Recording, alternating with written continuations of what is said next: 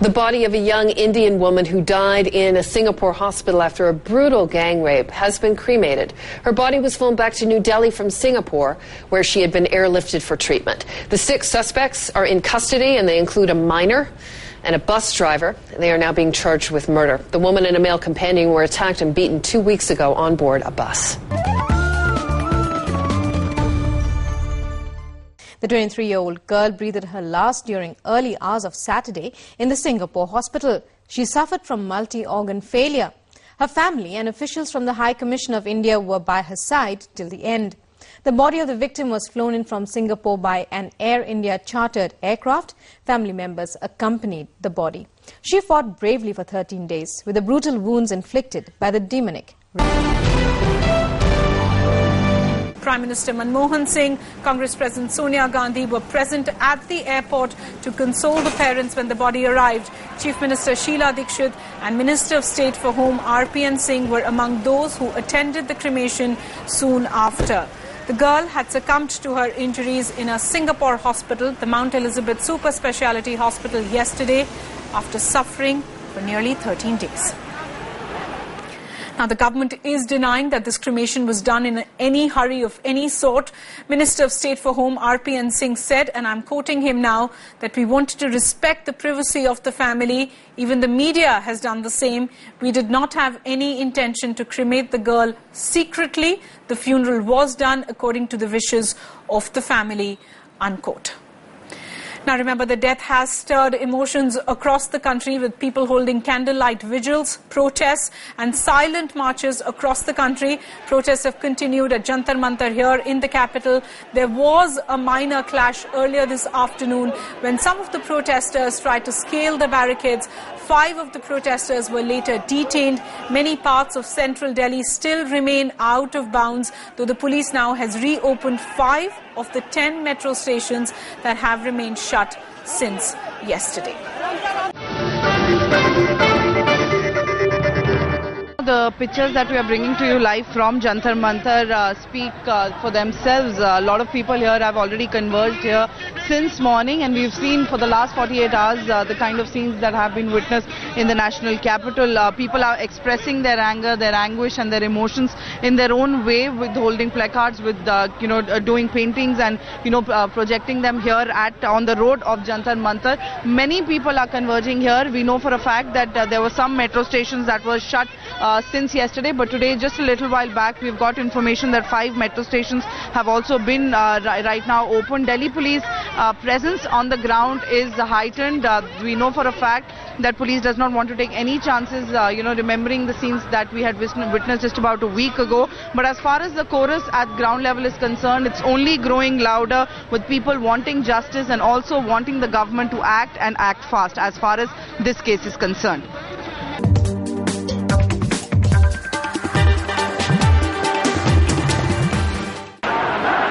We want justice as the other voices that are echoing from behind me in chorus, and we want justice, other voices that are coming from across the country, from our metropolitan cities, from the big cities, from the north, the south, the east, the west, and even, as we saw, from the smaller cities, uh, the villages there. Another report that we're getting in of a woman alleging that a doctor in Ropar tried to uh, molest her. So these numbers of uh, reports that are coming in just illustrating what the people here want to change. It's a mindset that needs to change along with the ins- institutions, whether it's Parliament invoking those amended laws, stricter laws, the judiciary are working on fast track courts, the police being sensitized, and society in the end standing up and being counted. Well, don't let her death go in vain. It's an appeal by protesters who are out to change India to make a safer place for women and end the menace of rape. All the protesters who are gathering on the streets today to condole the victim's death are also demanding change so that her death does not go in vain. Headlines today is urging its viewers to petition the government to bring in change. The government is still deaf to the voices. It is yet to call a special session of parliament. That's the first and the foremost demand of many of the protesters. The government has not amended laws to expand the definition of rape and enhance deterrent for sex crimes. The government needs to ensure maximum punishment for rapists, which will act as a deterrent. Definition of rape also needs to be expanded and punishment for eve teasing needs to be enhanced as well.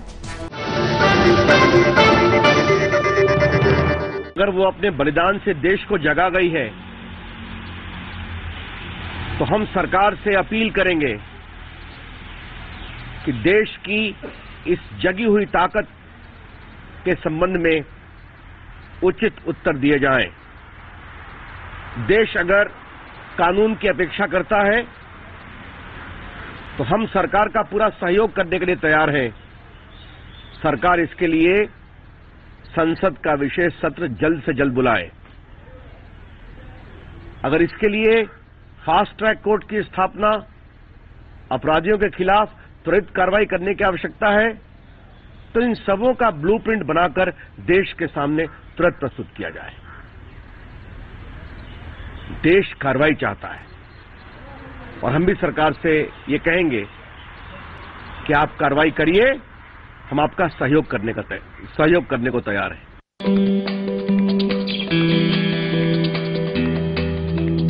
In Mumbai, India's glamour capital, film celebrities took part in a candlelit vigil for the victim. I'm glad that the nation today has come together. It's not about me, it's not about the people who are here, it's about the nation that has come together. And uh, hopefully, this will lead to something much bigger. Overnight in the capital where the attack had taken place, thousands turned out to show their solidarity with the bereaved family. Pressure is growing on the government to get tough on crimes against women. Six suspects have been charged with the woman's rape and murder.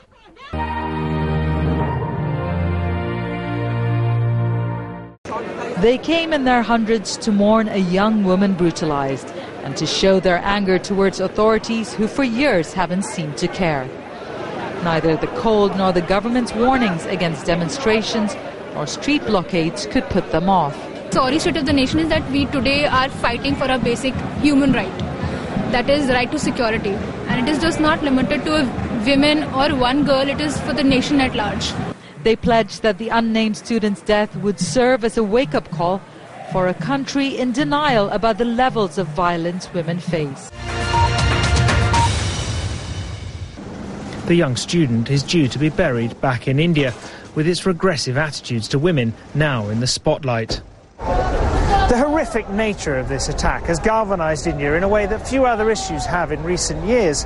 They may not know her name, but she's become the face of a wider and growing anger about the treatment of women and a sense that their leaders don't care. But there have been protests before, and when the flames have died down, many ask if anything will really change.